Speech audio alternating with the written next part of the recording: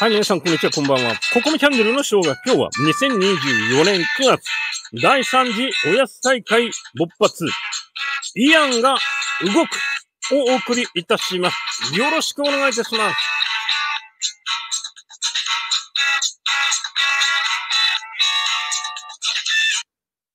イアン、バッカン、あはーん。イアンが動きます。酔っ払ってるわけじゃないですよ。本当に。イアンが動く。いや、もう9月に入ってイアンは間違いなく動く。ホルモン街道も、まあ封鎖ですよ。これね、コメントでね、もう本当に嫌がらせのように、ホルモン街道はどうなったんですか？っていうのはね、まあたびたびあるんですけど、いや、もう戦績数はね、あの、発表されてないですけど減ってます。で、かなり減っていて、まあ、あの、イアンが動いたらそれはすぐ閉鎖になりますよね。まあ、日本、ほんと大打撃なんですよ。これ冗談でも何でもなくてね、もうすでに影響はかなり今出てるんですよ。これはね、もういろんなところに影響出ていて、農作物の肥料、これバンバン値上がりしてます。また9月に上がるんですけれども、あとは牛さんとか鳥さんとかね、鶏さんとか豚さんが食べている飼料、まあご飯ですね、餌。これが上がっている。これ輸入物が多いですから、ものすごい上がってます。まあだからね、それもあって国産の肉、まあ輸入している肉、もう全部上がっているんですよ。今日スーパーに行ってね、買いました。牛肉。今日焼肉とね、野菜炒めだったのね。いいですよね。お寿司と。いや、お寿司はあの、買ったお寿司ですよ。スーパーでね。沖縄ね、お寿司安いんですよ。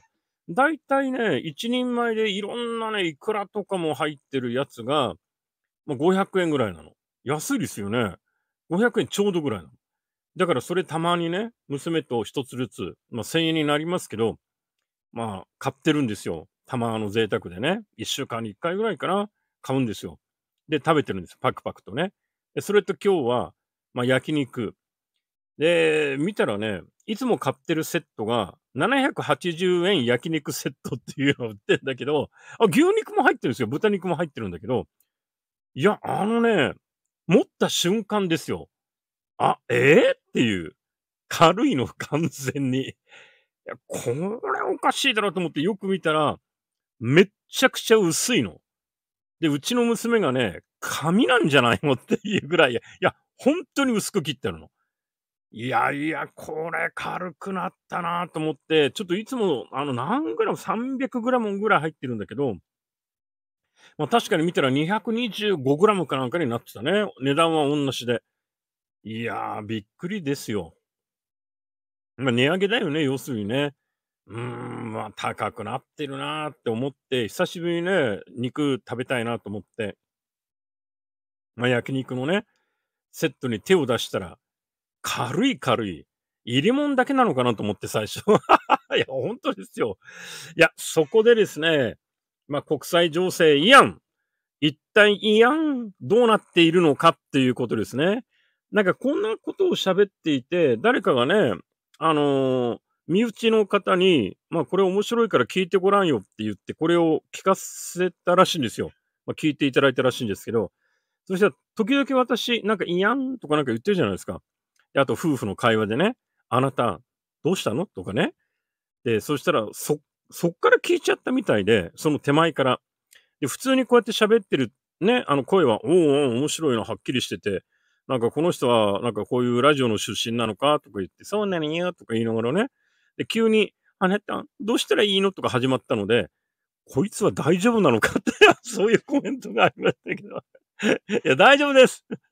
皆さん、大丈夫です。気は確かです。多分。多分ってなんだ、それ。ねえ。ま、多分大丈夫。まあ、そういうことで、まあ、イアンの動きなんですが、イアンに動きがありましたどんな動きがあったかというとですね、えー現在、イアンは、あの、イスラシャン攻撃に向けてですね、準備が整い、えー対応体制を固めていることを発表。これ正式発表今日あったんですよ。で、また、狼少年でいつも同じようなこと言ってて、やるやる言ってやんないんでしょと。うん。かもしれない。うん、まあ、だけど、まあ、いろんな株の上下とかね、為替を揺さぶったりとか、それも作戦なの。彼らのね。だけど、まあまあ、あのーこれね、公式声明で出たんですよ。イアンの方で。で、えー、イアンの国内放送で、えっ、ー、と、これはラジオ、テレビ、両方とも、あのー、そういう、まあ、もう準備整ったので、我々は、えー、やるということを放送したということなんですね。で、これは9月に入ってからの可能性を示唆しているということなんですよ。だ9月に入っても行われるかもしれない。そういう可能性があるということですね。まあ、それとリンクしてるんですけれども、あの、口シアの方からですね、大型の貨物機、あの、飛行機ですね。貨物の飛行機。これはでかいですよ。どうやっかね、あの、口シアのね、貨物輸送機ってでっかいのが多いんですよ。で、大型の貨物輸送機が、えー、イアンに、イアンの空港に着陸しました。これはね、行ったり来たりしてるんですよ。ただ、たまたま今回は、まあ、あの、公表してね、まあ、こういうのが、あの、口シアから来てますということで、イアン国内で、まあ、放送されたらしいんですよね。まあ、口シアと仲良くやってますよというアピールなんでしょう。で、この貨物機が、まあ、あの、紹介されてですね。で、まあ、載せているものは何なのかということについて少し触れていますね。まあ、あの、これは電子機器部品ということなんですよ。を満載してやってきてると。おそらくね、あの、ドローンの、あの、基盤じゃないかと思いますね。ドローン基盤。おそらくね。あの、イアンはドローンが大好きなんですよ。うん、だから、おそらくはドローンの基盤を、あの、運んできて、で、まあ、本体のね、あの、シャーシだとか、まあ、いろいろは組み立てはできるので、イアンがね。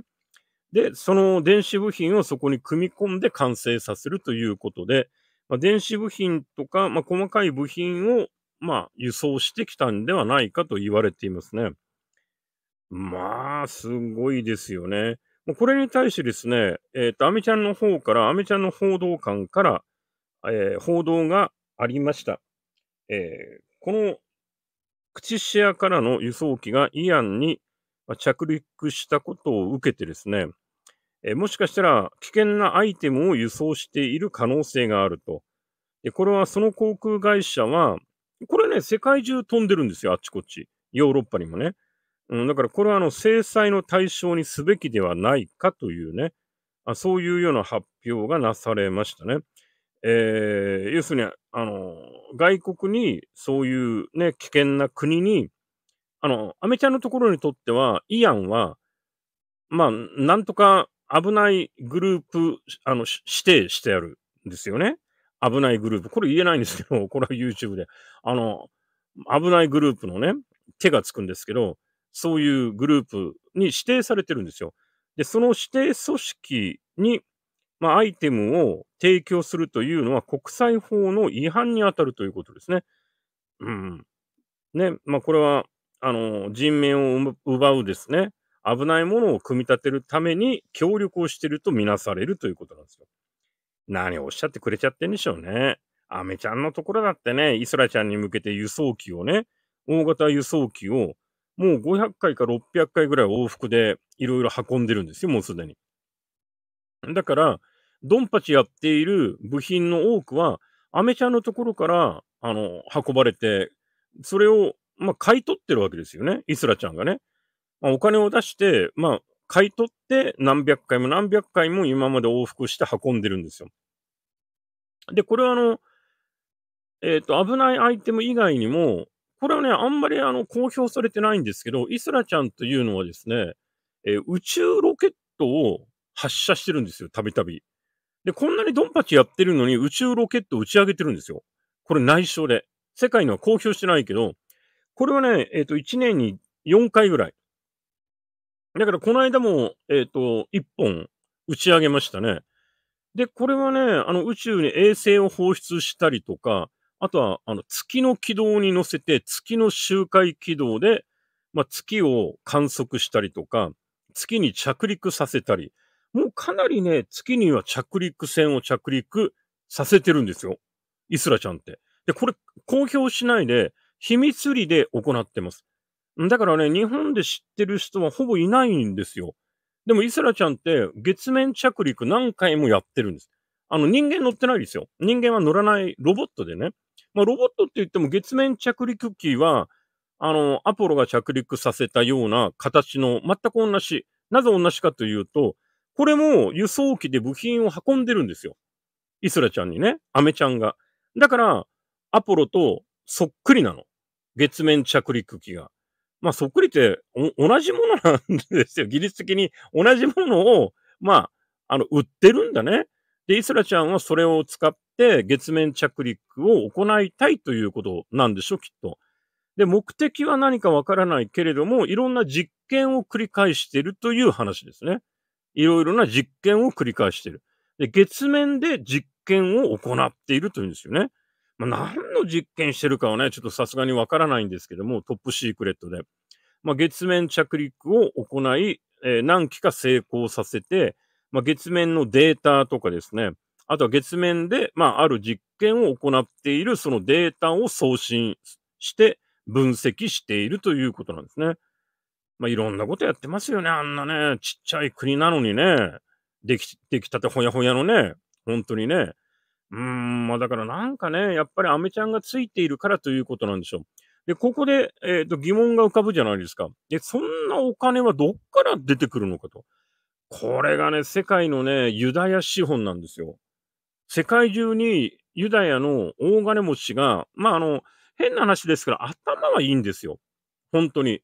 だってスティーブン・スプリバーグとかそうじゃないですか。ね。で、彼も、まあ、あのー、イスラちゃんに、まあ、寄付っていうかお金は送ってるでしょう、きっと。あの、みんな送ってるので、成功した人はね。で、やっぱりあの、イスラちゃんを支援してるわけですよ。で、そうやってね、お金持ちになった人が多いの。成功する人、成功した人が。これやっぱりなんか IQ が高いんですよ。で、これは、あの、アインシュタインなんかもそうじゃないですか。ね。まあ、ちょっとね、宇宙人のおそらく宇宙人の遺伝子がどっかで混ざっちゃってるんだよね、大昔。絶対そうですよ。本当に。うん、だって目がさ、目がおかしいじゃない。瞳が灰色なんですよ。彼ら。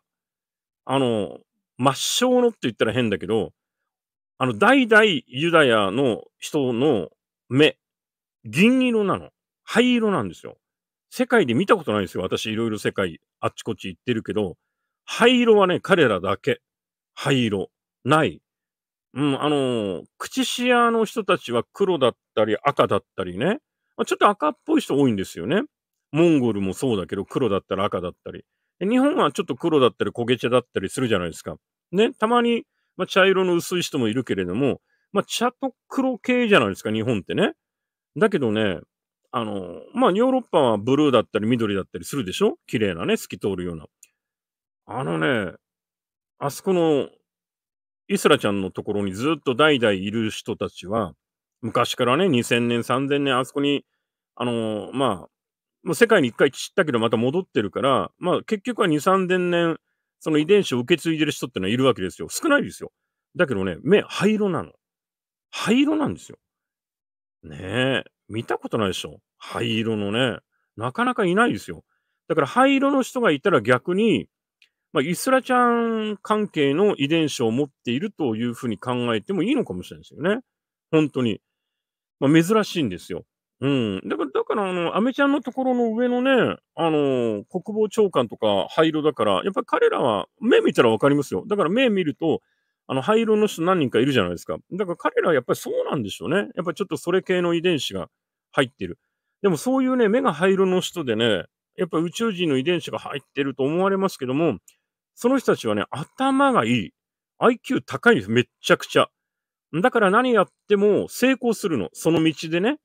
うん、だからスピルバーグは映画監督で成功したじゃないですか。だからいろんな、あの、成功者がいるんですよ。で、大金持ちになって。で、ものすごいお金を得て、まあ、それを、まあ、一部、まあ、イスラちゃんに送ってるということ。あとは、まあ、日本が支援してるからね。日本はお金は送ってるよ、すごい。で、その、日本の送ってるお金の方が多いね。全然多いと思いますよ。日本は送ってるんですよ。これはすごいんですよ。だからそのお金でね、まあ、日本のお金がだいぶ入ってますよ。だってゼレンにもものすごく送ってるんですよ。で、そのおかげでゼレンは大金持ちになっちゃってね。まあ、公表してないですよ。みんなから叩かれますからね。お前なんでそんな持ってんの？おかしいだろって言われちゃうでしょまあ、推定でほんと500億は持ってます。絶対持ってる。500億円。500億円なんて普通の人、日本にいてね、誰も、ほとんどの人が稼げないよ。いや、一部持ってる人はいますよ。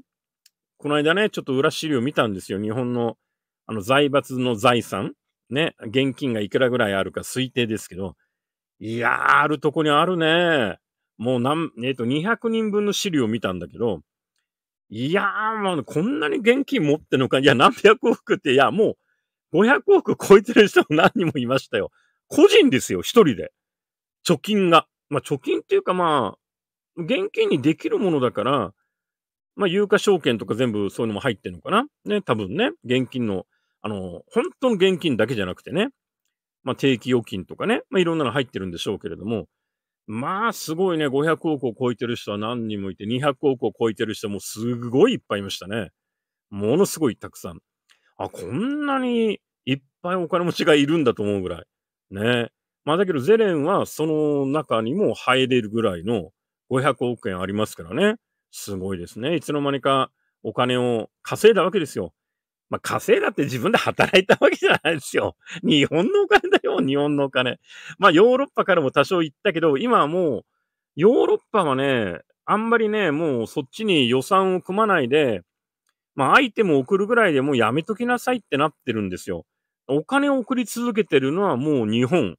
まあ、日本のみぐらいですよね。本当に。日本は送ってるね、未だにね。だからそのおかげでゼレンはね、もう好き放題やってね、イギリスでお城買ったりとか、ね、まあお城にプール作ったりとか、いや、すごいですよ。あの高級車をもうあの買ってもう手配して置いてあったりとか、乗る機会がないですけど、まだね。早くそこに行きたくてしょうがないんですよ、彼は。やめて。早く引退したいの。だけど、やめさせてくれないの。ねえまあコメントにも誰かね、書かれていましたね、どなたかね。そんなやめれるわけないじゃないかと。ね。やめたらとんでもないことになるんだから、そんな簡単にね、足を洗えるわけない。危ない世界だね。足を洗えないんですよ。いや、確かにそうだよね。どこまでも追いかけてくるしね。イギリスにそんなお城買ったらね、やっぱりやめ、あの途中で放り投げしてそのお城にいるって分かったらお城ごと吹き飛ばされるもんね。平気でやるよ。平気でやる。まあ怖いですよ。だからね、何が起きてもおかしくない。本当に。今はね、多数決原理っていうか力がある人が正義なんだよね。正しいの。まあ、正しいっていうか、その人の思い通りになってしまう世の中ということなんですよね。ねえ、だって今、例えばさ、最低賃金が1000円ちょうど前後ぐらいになっているわけでしょ、今。あ、これ都道府県によって違うんですよね、最低賃金ね。もう大体でも1000円ちょうどぐらいになってるじゃないですか。で、最低賃金、ああ、私は最低賃金で1000円か、ちょうど1000円だわっていう人いっぱいいるんですよ。ね。で、時給1000円で働いて、1日7時間働いてるから7000円。うん。1ヶ月働いて手取りで16万いくかいかないか残業とか入れてね。まあちょっと残りこれやってくれよって言って1、2時間やったりもして、15、6万。一生懸命働いて手取り15、6万ですよ。まあそうだよね。時給1000円だとね。で、いろいろ、まあね、手当だって、バイトだったり、契約社員だったりするとそんなにつかないですから、ね。まあ、契約社員の方がもうちょっとね、時給はいいですけれども、だけどそれにしても、手取りで50万も60万もはもらってないですよね。多くの人がね。やっぱり20万円台って多いわけですよ。一生懸命働いてもね、契約社員もね。で、アルバイトだともっと少ないから15万ぐらいになっちゃう。その時に、ね、その人たちの払っている税金とか、ね、そういう、もう本当に血と汗の結晶である税金をですよ。ね、ゼレンに何千億円も送ってるですよ、毎月。で、彼は500億円もお金を貯めてですよ。イギリスでね、お城を買って、高級車を2、3台買って、ね、あの、女性のすごいなんか見栄えのいいお手伝いさんを何人も雇ってということなんですよ。プールを作って。で、もうそこでね、お金500億円も貯まったから、まあ、お城買ったからちょっと減ったんでしょうけども、まあ、あの、それで余生を過ごすわけですよ。で、ね、日本で頑張って、ね、時給1000円で月手取り15万ぐらいで頑張って節約して、たこ焼き買いたいけど今日はたこ焼き屋我慢で家に帰って、なんかボンカレーでも食べようかしら。いや、本当にね、そういう生活じゃないですか。ね、だけど、ゼレンはね、500億円貯めて、プールを今作ってね、水なんかどんどんあの入れりゃいいんだよとか言って、俺は金持ちなんだからって言ってるわけですよ。で、みんなのそれは税金でみんなが納めたお金で彼はそうしてるんです。そしてみんなが、多くの人が、ね、口しわは悪いやつだ。ね、ゼレン頑張れって言ってるんですよ、未だに。多くの人がね。それって、まともなの？大丈夫？ね。ねえ。どうなんですか？それってどうなのっていうことですよね。あの、今日もいろんなあの投稿があって見ましたけど、まあ、イアンの悪口言ってる人たち多いですね。あの、最低だとかひどい国だとか、ね、イアンに旅してすごいいい国だとか言ってる人は何にも分かってないとか、いや、多分分かってると思うんですよ。だってイアンに行ったんだからね。いや、だけどね、あの、いや、これね、難しいと思う。何が難しいかって言ったら、あの、例えば外国の方が日本に来たとするじゃないですか。真面目な人がね。日本を知りたいとか言って、私の知り合いずいぶん前に来たんですよ。えっ、ー、とね、あ、あの、イギリスだね。イギリスから来たのね。イギリス人がね。ずいぶん前。で、あの、日本のどこか案内してって言っても案内したんですよ。で、あの京都連れてったりね。で、金閣寺見せて、これは全部黄金でできてるのかとかいうね。いやいや、これはね、貼ってあるだけで あの、木でできてるんだよって言ったら、ああ、でも、あの、本物、金に見えるって言ってね、ああ、なんか本当美しいねって言いながら感動してましたよ。でもそんなあっちこっちね、あの、お寺とか見たり、おいい、本当に素敵、いいねって言いながら、新幹線乗ったら静かだしね、どうしてこんな滑るように電車がね、あの、走るのって言って、静かだね、揺れないねって、ね。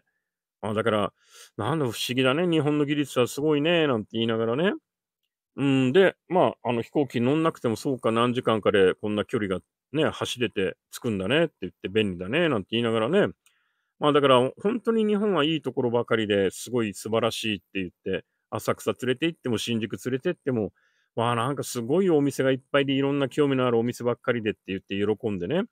で、2週間ぐらい行って帰ったんですよ。いや、ほんと大喜びでお土産いっぱい買ってね、で、向こうに帰っても、なんかメールくれてね、メールに、あの、家族の写真、あの、家族って言っても、あの結婚はしてるわけじゃなくて、あの、あの、両親とかね、兄弟の、あの、お土産を配った写真とかね、私もお土産あげたので、まあ、それを受け取ってありがとうっていう写真だとかね、送ってきて、ビデオとかね。で、本当日本は素晴らしかったって言って、また行きたいって言ってね。だからそうやって、いい思い出ができれば、日本はいい国なんですよね。そうですよね。でも、追いはぎにあってね、日本で追いはぎにあったら、多分、あんな危ない国もう二度と行かない。ね、平和で、ね、泥棒なんか一人もいないって聞いていたのに、追いはぎにいや、その可能性もあるよね。え、だってそんな本当に100%いい人ばっかじゃないじゃん、日本だってね。わかんないよね。追いはぎいるからね。追いはぎに会ってしまうかもしれないじゃない。でも追いはぎに会って、身ぐるみ剥がされてね、まあ、フランスのパリに行って私の本当に仲のいいやつが、高校の同級生がね、パリで追いはぎにあって、もう丸裸同然で放り出されてる。全部取られて。本当ですよ。もうね、ほぼパンツ一丁。なぜかっていうとね、T シャツ着てた、まあ、あの、リュックはもう取られちゃった。カメラ、リュック取られて、何もかも取られて、靴も取ら、靴いい靴履いてたから、靴を取られてね、あの、少年隊にね、少年グループに。でね、あの、シャツを引っ張られて、破られたのね。5、6人にシャツ捕まだから上はね、もう、超人ハルクが普通の人間から超人ハルクになったみたいに、シャツが破けちゃってて、ボロボロで、もう裸同然なの。で、下、まあズボンは履いてたけど、だから下、あの、ズボンと、まあジーパン履いてたのかちょっと普通のね、スラックスかわかんないですけど、まあズボンと、あの上半身をほぼ裸の状態で、あの公園に放り出され でも警察に行ったら笑われたって。笑われて終わり。いや、どうすることもできないって言って、で、なんか日本の領事館かなんかに行って助けを求めて帰ってきたんだけど、情けないよね。でも、フランスなんか二度と行かないとか言ってね。でもそんなものなんですよ。だから、そういうことがあれば、ひどい国、あの国は二度と行かない。なりますよ。イアンだってそうですよね。なんか嫌なことが重なってね、会う人会う人が、なんかとんでもない変な人だったと。そりゃ嫌な国で行かないってなりますよね。ところが、まあ、運がいいっていうか、行いがいいっていうかね、会う人会う人がいい人で、ご飯をご馳走になって、いや、もうお金なんか受け取れないよって向こうの人言うからね、本当おごってくれるの。本当にお金絶対払わなあの、払い、払わせない人が、あの、日本から行って、ちょっと仲良くなったら、もう、ここの国のものは全部私が支払うんだっていうことなんですよ。恐ろしいぐらいですよ、本当に。でもそれはね、あの、向こうがそう言い始めたら抵抗しちゃいけないですよ。本当に。あの、余計おかしくなるから。だけど、あの、そうやって仲良くなって、ごちそうになって、ね、お土産ももらっちゃったりしてね、いや、こんないい国なんや、こんないい人たちいるのかって、なって日本に帰ってきて言うじゃないですか。いや、本当にいい国ですごかったよ、いい人でって。ね。だけど、追いはぎにあったら絶対言わないでしょそんなもんなんですよ。だから、人の体験によって、いい国かひどい国かってなっちゃうの。でも、相対的に考えて、イアンはいい国ですよ。口シアも。本当に冗談じゃなくて。うん、だから日本人の、なんか、閉鎖的だからね、日本人ね。閉じこもってるじゃない。で、黙ってると、ボンボンやられちゃうから、多分、黙ってる人多いからね。ボンボンボコスかやられちゃって、とんでもない国だっていう。いや、本当に、多いと思う。あるヨーロッパ行っても。スペイン行ってもボコスカやられてるからね、日本人ね。本当に、ボコスカやられて追いはぎに合ってるからいっぱい。そりゃ、追いはぎに合ってね、全部捉えちゃった人は、あんな国とんでもねえ国だってなるよね。うん、だから追いはぎに合わないで楽しんで、いや、本当イタリアもスペインも楽しいねってなったら、それはいい国なんですよ。ね？だから、これはね、違うんだよね。人によって。うん、だから相対的に考えてということでしょうね。うん、だから、あの、誰かが何か言ったから、何か配信してね、YouTube とかでひでえ国だったよとか言ったのを真に受けてひどい国だったと、あの、100%決めつけてはいけないということですね。その人にとっては、ひどい国だったでしょう。運が悪かったらね。いや、本当に、まあ、それはあるよ。そういうことはある。ね。まあ、しょうがないね。それもね。まあ、いろんなことがあって、まあ、それは視野が広がるんですよ。プラスマイナスがあって、人生が豊かになるんですよ、本当に。まあ、プラスばっかり経験してもね、何の意味もないですよ。だって人の痛みだとか辛さとかね、あの、ちゃんと経験しなければ、それを乗り越えて初めて人間は強くなるし、優しくなるんですよね。本当に。うん、だからただ単にさ、あの、なんかね、女性でも優しい男性、怒らない男性がいいわ、なんて言って、怒んない男なんて最低だよ。ダメだよ。ほんと。怒んない男の人なんてね、ダメに決まってんじゃんね。男の人はどっかで、どっかのタイミングで怒るんですよ。で、まあ相手のパートナーがいて、女性がいても怒る。あの、それはおかしいだろうと思ったら、まあ勘違いもあるかもしれない。だけど怒るんだよね。怒んない人なんてダメなん、ダメな人だよ。それは。何か、何かがおかしくなってる人だよね。怒んない人ってね。まあもう、年取っちゃってるとかね。まあそうなったら怒んないかもしれないけど、あの、気合入れて生きてる人は、あの、間違ったことがあったりおかしいなと思ったら怒るよね。でも、女性は、それで怒る人が嫌だとか言ってちゃいけない。なぜかって言ったら、女性っていうのは、やっぱり男性がそうやってカーッと来たら、女性が一緒になってカーッとしちゃダメでしょ？どう考えてもね。で、それは争いができ、あの、起こっちゃう。国と国と同じですよね。で、そうじゃなくて、もうやだ、私そんな悲しくなっちゃう。あなたのことが好きなのよ。だから怒らないでよ。私はあなたのことが好きなんだから。と言ってごらんなさいよ。勇気を持って。丁寧にね。泣きながらでもいいから。それで怒る男性は最低だよ。それで怒り続けたらダメだね。それはね。そうじゃなくて、それを見てね。ああ、ごめん。怒りすぎたねって。ああ、いけなかったね。悪かったね。本当に。僕も君のことが好きなんだよ。と言ってくれれば、より一層二人の絆は強くなるじゃないですか。そうじゃなきゃいけないんですよ。そうやって絆を強くしていくんですよ。人間同士というのはね。何にもなく、私の旦那、ずっと怒んないのよね。面白くもなんともないよね。あの、全坊主だよね。お坊さんを馬鹿にしてるわけじゃないですよ。そうじゃなくて、座禅を組んでるだけみたいになっちゃうじゃない。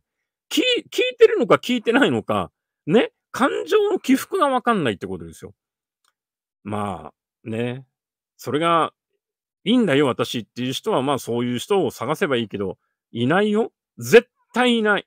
いたとしたら、どこかがおかしいと。いや、いや本当に。いや、私の主人は怒ったことないしねって、あの、心の中で怒ってんだよ。そんな人いるわけないじゃん。心の中でちょっと待て、やだな、それ。でも、こいつに怒ると、なんかすごい、キーってなるから、なんかめんどくさいから、やだ、怒んない方がいいな、これやって思ってるだけなんですよ。本当にね。我慢してるんだよ、そういう旦那さんはね。そういう旦那さんはいるよ。